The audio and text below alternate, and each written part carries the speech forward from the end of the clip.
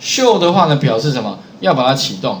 OK，那当然相对的哈，里面还有什么点 High，就是隐藏嘛。所以你要开跟关，就是一个秀一个 High 而已啊。哈，所以你这边的话呢，你就直接打一个 Home 二点秀。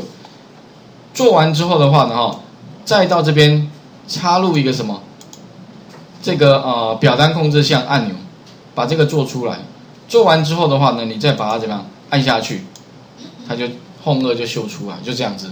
好，所以你要把一个表单给叫出来，其实非常的简单。那要关闭的话，哈，但你想说，老师，那是不是这边加一个呃空二哦 Home 点 Hi 可不可以？其实不用了，这边有个叉叉，你就用这叉叉就好了。干嘛还要再好？好像多此一举啊！我觉得这个已经有了，就不用。但你要写也无所谓啊，要关闭这样好。U 使用者 User 可能会觉得，哎，好贴心哦。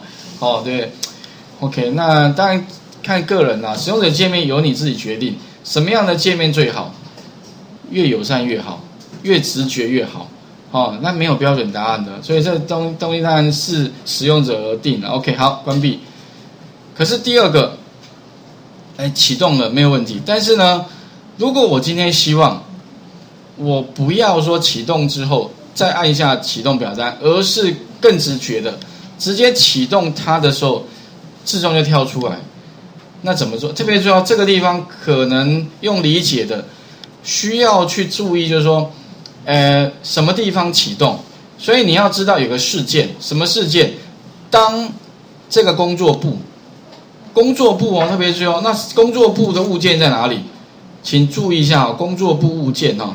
这个专案总管里面有没有看到？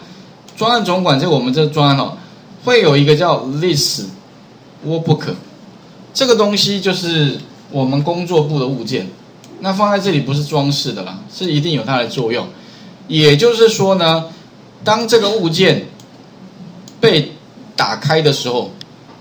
那打开这个就是一个事件，那我就把表单给叫出来。所以要特别注意哦，我在先第一个步骤，在 list workbook 点两下，它会跳出一个序，这个这个空白。那里面请注意哦，上方会有个叫 workbook，也就是说 list workbook 怎么样呢？当这个 workbook 这个物件怎么样被打开？啊旁边有一串，怎么样？这些都是事件，但是呢，我们需要的是 open 啊啊！不过预设刚好就 open。当这个工作簿被打开的时候呢，我要做什么事？home 点秀就好了。好，我 home home 二点秀。好，那这样的话呢，哈，就 OK 了。那这个时候呢，你记住就是把它存档，再把它关起来。好，关起来之后呢，一样到范例档里面哈。我刚刚到底哪一个？有点忘记了。呃，那就把那个打开。哎，这是八点啊，不是这个，应该是这里面的。这个看一下时间，应该就啊九点对，没错，这个哈。逻辑函数打开，哎，有没有？自动就 OK 了。啊，所以特别重要，用理解的不用死背啦。好，OK。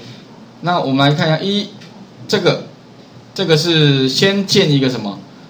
哎，在开发人员里面啊，这边模组，我记得先在模组里面插入一个程序啦，这个，然后它就会把 Home 二秀出来哈。那自动启动特别注意哦，This Workbook，点一下这边哦，Workbook 自动会跳 Open，打一个，那你们打 Home Home 点秀了，因为我是第二个，OK，那这样的话自动会启动起来。好，那把画面先还给各位一下，试一下，呃，如何启动哈？你刚刚做那个表单。好，OK，两个方法哈。